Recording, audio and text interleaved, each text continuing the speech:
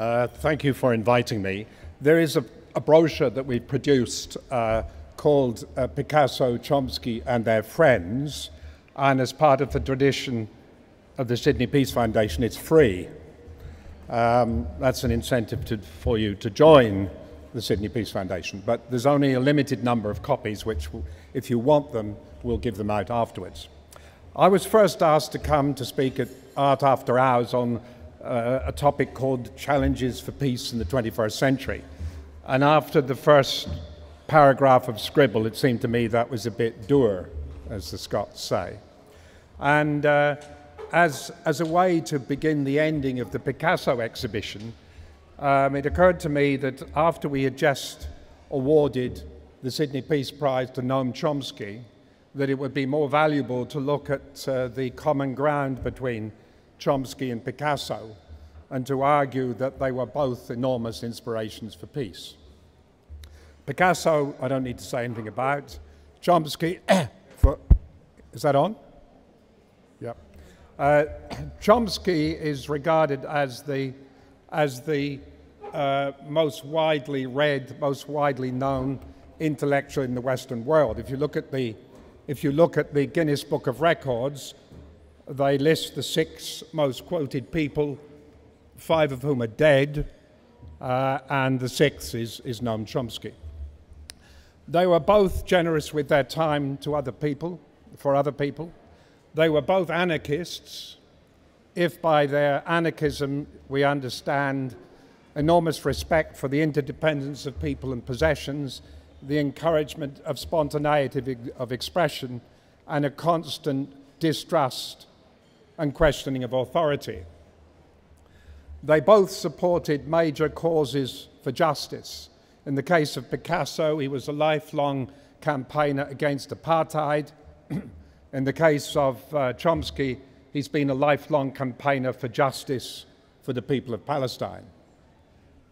They both had friends who were enormously inspiring, and because this talk is called Chomsky, Picasso, and their friends, I'm going to refer to Paul Robeson and Paul Eluard and uh, Pablo Neruda in the case of Picasso, and to A.J. Muste and Lord Bertrand Russell in the case of, of Chomsky.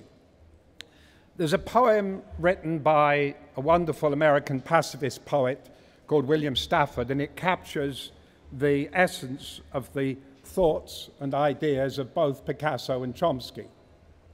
And given that what I want to talk about really is a way of thinking inspired by great art and great, great literature, great writing, the, the lines from the, from the uh, Stafford poem are appropriate. He wrote, Sometimes commanders try to take us over, and they want to impose their whole universe. How to succeed by daily calculation. I can't eat that bread. And by bread, he meant the bread he was referring to was the preoccupation with control, the preoccupation with building hierarchies, the preoccupation with different forms of discipline and punishment of people who ever got out of line. And of course, the corollary of that poem is about the, the, the assumption that militarism and violence was the way to solve any problem. So, a complete rejection of that. Now, I want to say something because uh, Andrew Yip of the Art Gallery asked me to, say, to, to explain why we awarded the Peace Prize to Chomsky. Because in many ways, the philosophy and practice of the Peace Foundation over the past 15 years in choosing giants of the 20th and 21st century to come to this country reflects the contents of that Stafford poem. The, the jury uses three criteria to choose the recipients. The first is a commitment to global peace with justice. In other words, you can't be entirely local. The second is a commitment to evidence of a commitment to universal human rights. And the third is evidence of living by the language and philosophy and practice of nonviolence. And Chomsky, as, as uh, Susie, who introduced me, mentioned, has really been imitating all the other significant giants who won the Sydney Peace Prize. And if Picasso had been alive, we would surely would have nominated him, and the jury would surely have chosen him. I want to now look at, as it were, two particular uh, concepts that um, convey the common ground between, uh, between Chomsky and Picasso. The first concept is the personal is the political, and the second concept is about the commitment to universal human rights. That first concept, I understand, was a creation of um, of uh, feminists about 50 years ago.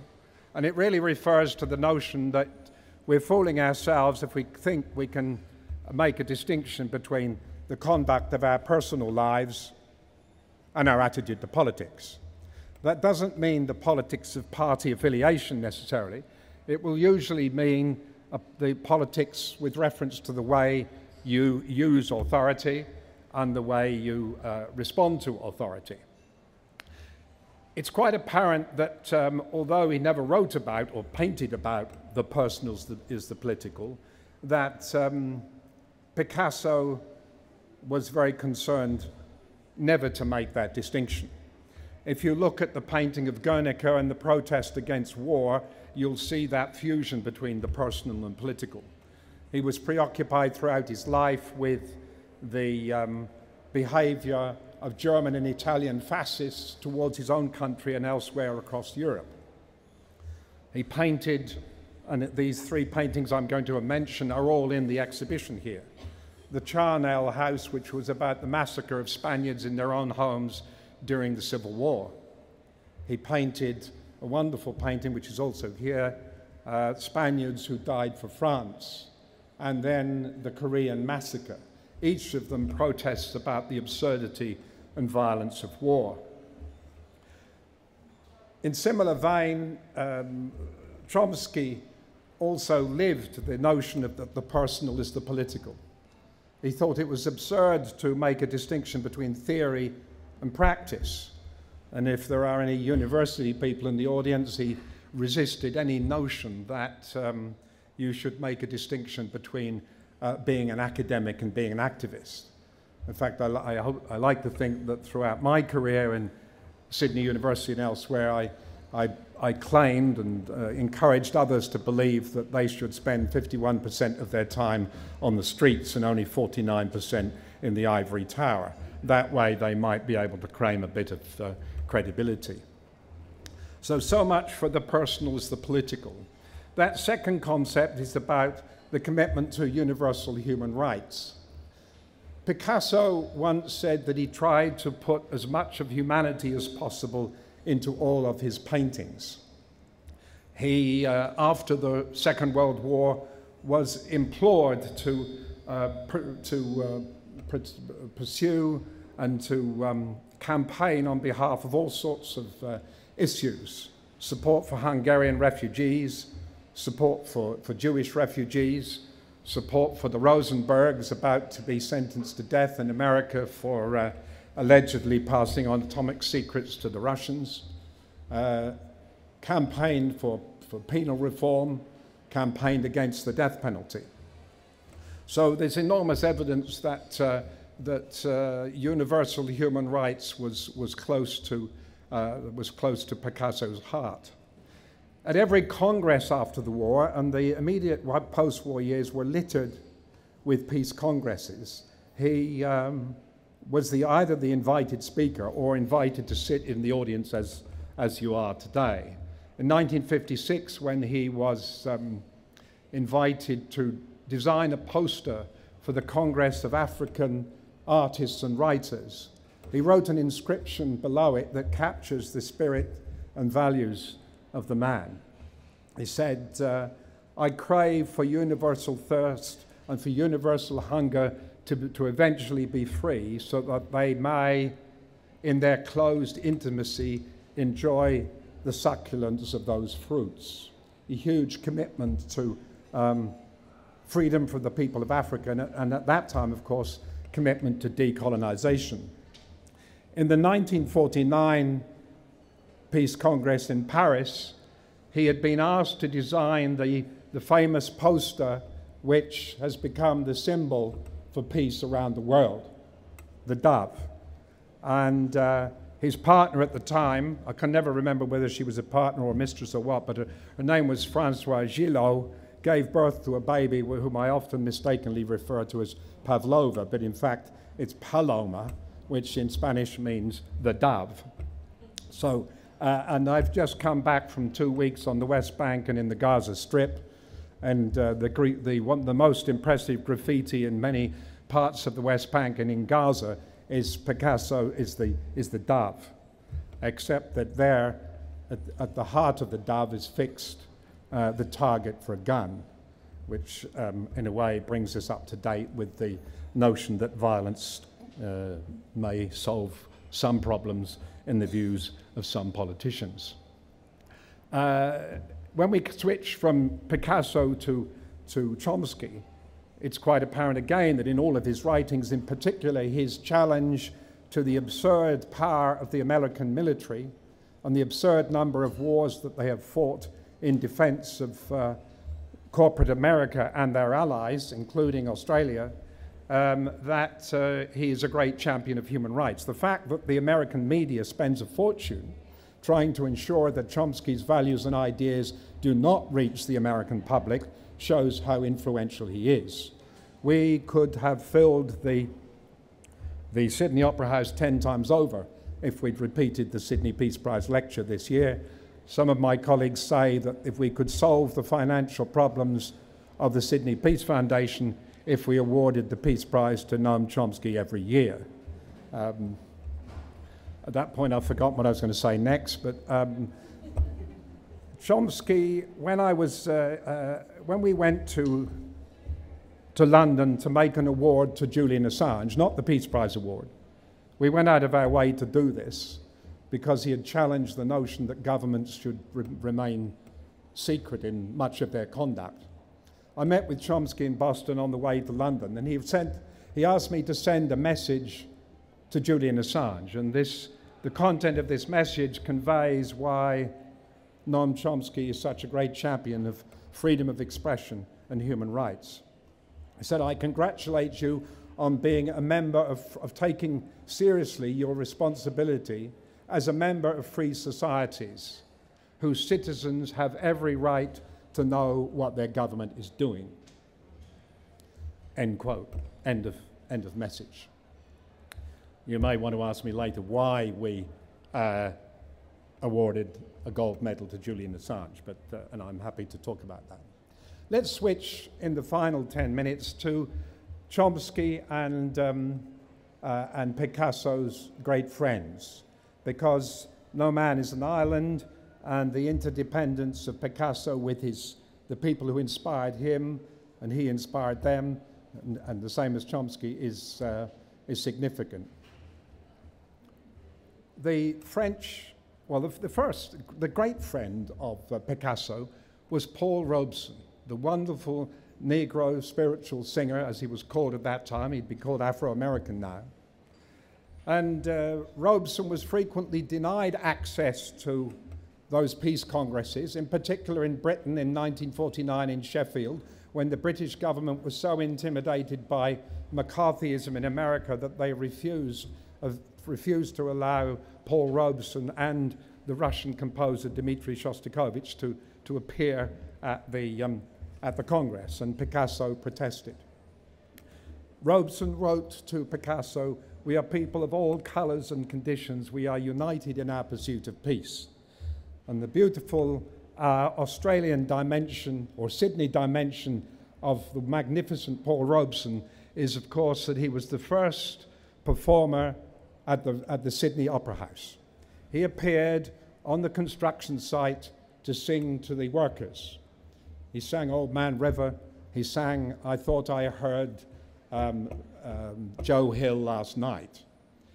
Uh, there's a one, if you can Google it, you can, there are all sorts of three minute uh, repeats of the magnificent Paul Robeson, champion of human rights, singing to the construction workers on the Sydney, on the site of the slowly growing Sydney Opera House. Wonderful uh, reminder for, uh, for Sydney. Um, if only we could continue to emulate um, Robeson. Pablo Neruda, of course, who was the wonderful Chilean poet in exile, wrote voluminously against war and against violence. He protested war at, at uh, and the absurdity of violence uh, at every stage of his life. Paul Eluard, who was known as the French resistance poet, protested about the Nazi occupation of France in a poem called uh, uh, uh Dusk Devours uh, the Monsters. In other words, dusk, when dusk comes, uh, there's a chance, so I got that wrong, it should be dawn. When dawn comes, there's a possibility that optimism will, will occur. And he wrote that um, they, he, by that he meant not just the Nazis, but even the bullies in bureaucracies and the dictators and the leaders who think that war, including Bush, Blair, Howard, Obama, and so on, is think that's a way to carry on. He wrote, They gnawed away the smiles and flowers. They found a heart only at the end of their rifles. Now, as with so many poets, they often capture in a few words what it, in other, in, in books, it takes volumes, uh, volumes to speak about. Let me switch quickly to the friends of uh, Chomsky, and two in particular. One, a gentleman, a philosopher, a revolutionary pacifist called A.J. Muste, whom Chomsky regards as the greatest, or one of the greatest thinkers and writers and philosophers in America. Probably don't know, know too much about him. But um, Muste was concerned with violence. He thought we should try to disassociate ourselves with what he called 90% of the problem. And it, what he said has as much relevance to February the 8th, 2012, as it had to when he was writing in protest about the, um, about the carnage of the First World War and the preparation for the Second. And subsequently, the, the, uh, the um, absurd loss of life in the Vietnam War. What he meant was that um, we collude too easily with the notion that we need large defense budgets to protect us. At a time when the last time I did a survey, luckily for in, in Australia, about what security really meant to Australians, contrary to those who were asking for a larger defense budget in Canberra, wanting more obsolete tanks, helicopters that don't fly, and submarines that are so noisy you can't use them. Uh, the Australian public said by a mile in this large survey that universal health insurance gave them the greatest sense of security. Nothing to do with, and that was, that it seemed to me was pretty consistent with A.J. Muste's uh, stance and values. And the final, the final uh, friend was Bertrand Russell, great logician, mathematician, philosopher, found, one of the co-founders of the, of the Campaign for Nuclear Disarmament and of the Committee of 100. He was, if you listen to the range of campaigns he was involved in, he was for universal suffrage, for penal reform, against the death penalty, for reproductive rights, for sexual freedom, for freedom of thought. It goes on and on and on. He, uh, he was also concerned about the way humor could um, transcend bullies and dictators and could, you could, how you could use satire to, as it were, show that the emperor has no clothes. He concluded after the First World War, I remember, that wars don't decide who's right, they only decide who's left. And Chomsky, in his, in his uh, office at the Massachusetts Institute of Technology in Boston, has a large cutout of Bertrand Russell, his hero. It's a bit unusual for somebody as, as genius as Chomsky to acknowledge having such a hero, but there he is. And the three precepts that governed Bertrand Russell's life uh, are written there. The first is a longing for love. The second was a search for knowledge. And the third is unbearable pity for the suffering of mankind. Well, let me draw the, world, the, the, the, the talk full circle at this point and just mention again why I'm arguing about the common ground between Picasso and Chomsky. They both challenged convention. They were both for freedom of thought and resisted anybody who tried to control them. Picasso was a communist, lifelong communist, but when the Russians tried to insist on conformity in uh, art and thought and music, he wrote back to them, I don't tell you how to do economics, you have no right to tell me how to paint. So that's common, common re resistance to and challenging of um, authority. They were what I call intellectually promiscuous. The word promiscuous always makes students uh, sit up and start to take notice because they're never quite sure what's going to come next. Uh, we don't need to know too much about Picasso to know that he was painter, sculptor, stage designer, uh, painter, uh, drawer, cer ceramicist, potter. In other words, he crossed every discipline boundary that he could think of. Chomsky also was mathematician, computer scientist, uh, linguist, political scientist. In fact, when Niels Jerne, the, um, the Dane who recently received the Nobel Prize for Medicine for immunology, he acknowledged the value of uh, Chomsky's work on narrative grammar to help him to understand the scope of the immune system. So there are those, there are the common grounds, which really are conveying to us encouragement about different ways to think, different ways to conduct relationships, different ways to think that we have an op- we don't have to be a great artist or a great writer to, to uh, make a difference. And, that, uh, and the difference is about protesting our disbelief that um, militarism and uh, the search for scapegoats at the present foreign policy, it looks as though we want to make China the scapegoat for the next 50 years. So we're going to place Marines in the north of, uh, uh, north of Australia to make us more, quote, secure, unquote. We have to get rid of that way of thinking. We have to realize that it's a hundred times more interesting to study peace with justice than it is to promote the pursuit of war.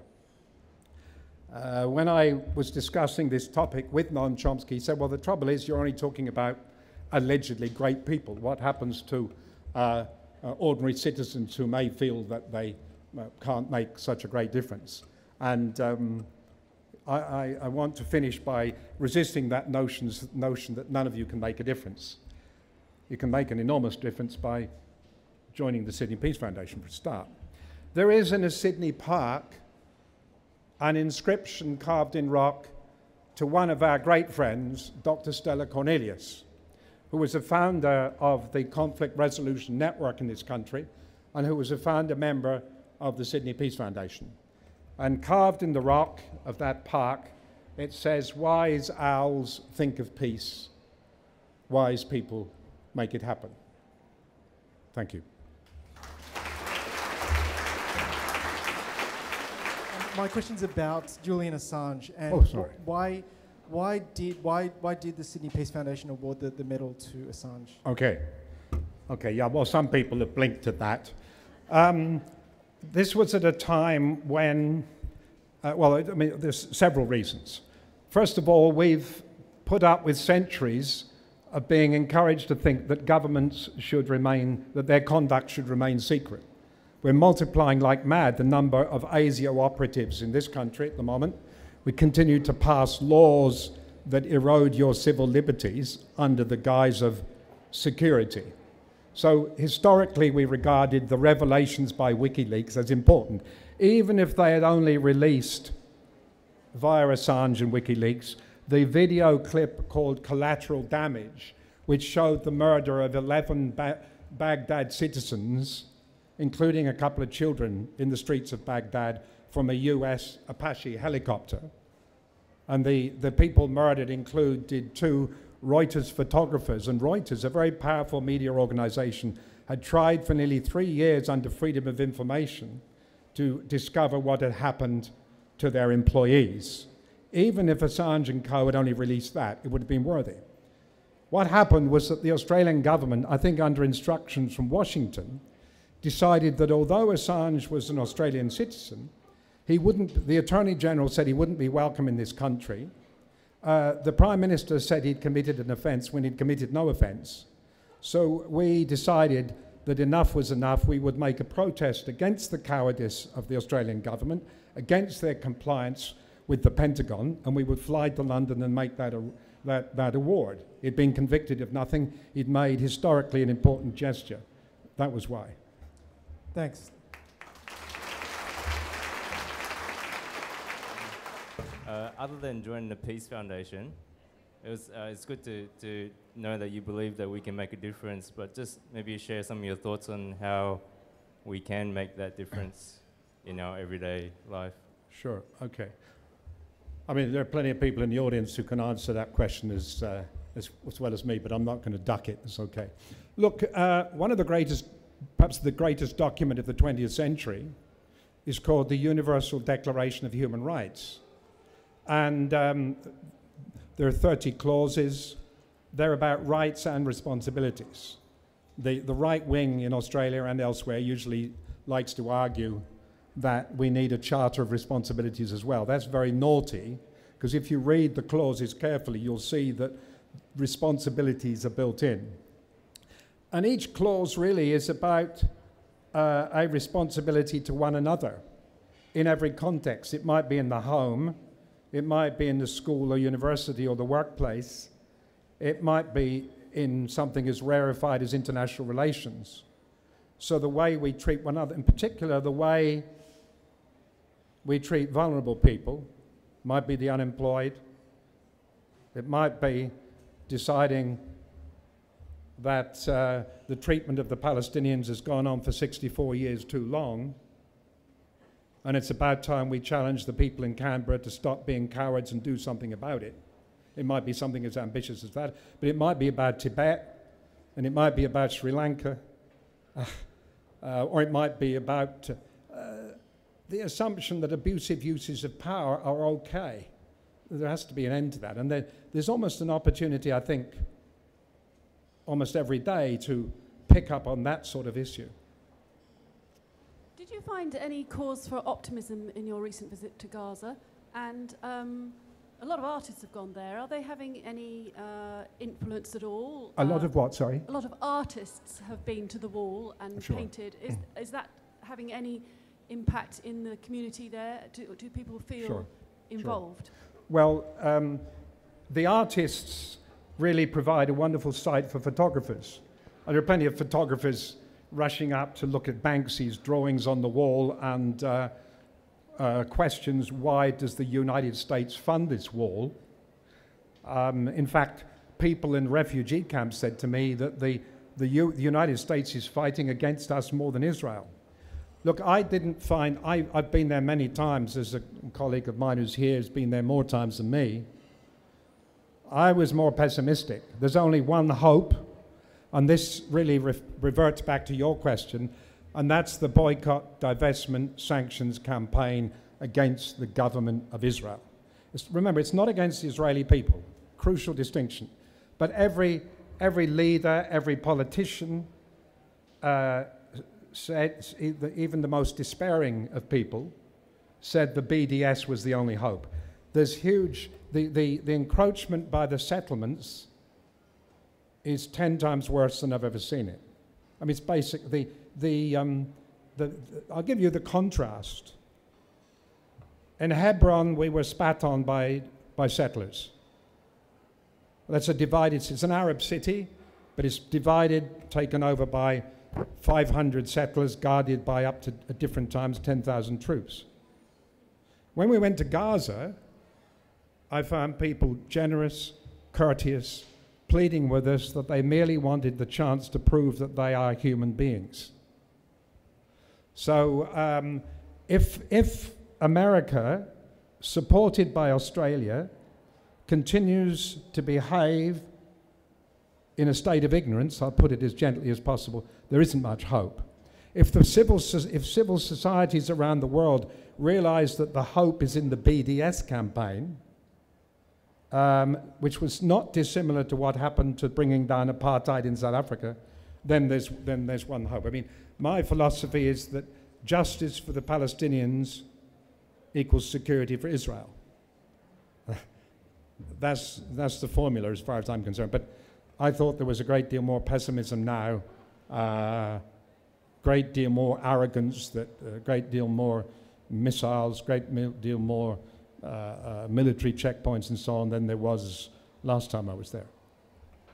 Hi, um, I just wanted to ask you about the recent freedom flotillas uh, to Gaza, you know, that were unsuccessful. Um, what do you think they achieved? Well, I think um, one of the real problems of the Palestinian uh, question since 1948 has been ignorance about what really went on around the world. The Palestinians referred to 1948 as the Nakba, the catastrophe. It was a catastrophe. Almost overnight, 512 towns and villages belonging to the Arabs were, were erased off the face of the earth. H- hundreds of thousands, now millions of people became refugees. Um, so the value of the flotilla is, is, a, is a form of waking up to the conscience and consciousness of people around the world. We, uh, I mean, one of the great contributions of Chomsky is in a book called The Manufacture of Consent. And what he shows is how the media gives only a small, narrow version of reality. Very small, very narrow, very opinionated, coming largely from one source. And so, uh, in a way, the flotilla, even though they've never reached there, um, is an enormous contribution into raising, multiplying public awareness in the same way, sadly, in which the so called Gaza war, which wasn't a war at all, it was just organized uh, massacre. I mean, the killing ratio was 100 to 1. That wasn't a war, and yet the media calls it a war. In the same way that the Gaza war began to raise the consciousness even of people who knew nothing or were disinterested into saying, you know, this is a cancer I mean, I often say maybe I better finish with this kind of macabre analogy. If I was a, a, a cancer physician and you came to me with secondary growths, I wouldn't be interested. I want to know where the primary site was. And in international relations, the primary site of the cancers that are going around the world is the failure to settle the Israeli Palestinian dispute.